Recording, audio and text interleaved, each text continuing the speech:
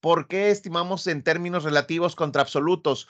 Cuando tú te pones a pensar en un valor absoluto, no hay margen de error, no hay, no hay manera en la que estés, eh, no puedes, o sea, te puedes equivocar. Cuando estás haciéndolo de manera relativa, no hay una respuesta correcta. Entonces, te da esa flexibilidad y esa discusión o esa em, manera de poder extenderte hacia un lado o al otro. Y eso es lo que beneficia eh, la estimación eh, que sea relativa, ¿no? Que te da esa flexibilidad, mientras que absoluto sería, esto va a tomar cinco horas y si son seis, ya fallamos y si son tres, ya fallamos. Acá no, acá estás viendo un margen, ¿no? Hay un margen de error y de antemano sabes que puede fallar y que hay un, hay una cierta eh, flexibilidad, ¿no?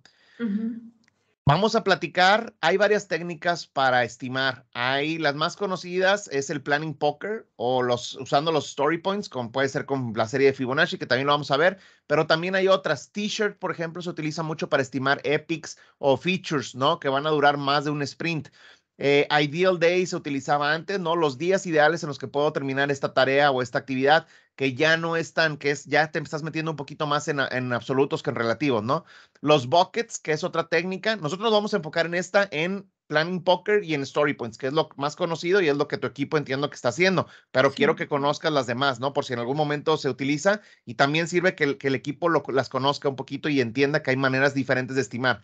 Los buckets, que es agrupar en buckets de Em, de tamaño similar las historias. Es decir, veo que estas tres historias son cortas, son fáciles, son relativamente pequeñas, las agrupo en un bucket de historias pequeñas. Veo que estas historias van a tomar mucha complejidad, muy difícil, muchos riesgos, las agrupo en unas historias, en un bucket de historias medianas.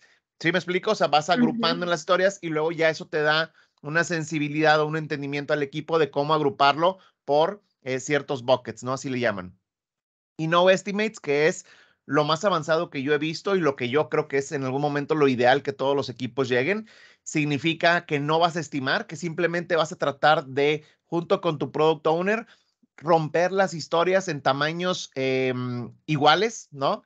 Es decir, más o menos todas van a ser historias cortas, con, con poca dependencias o nada de dependencias, con complejidades muy sencillas que, que son fáciles de llevar a cabo para darnos una idea, pueden ser historias que te tomen un día, dos días máximo, ¿no? De tiempo, porque son sencillas, porque no tienen tanto riesgo, porque son, no son complejas, porque son eh, fáciles de hacer y llevar a cabo por el equipo.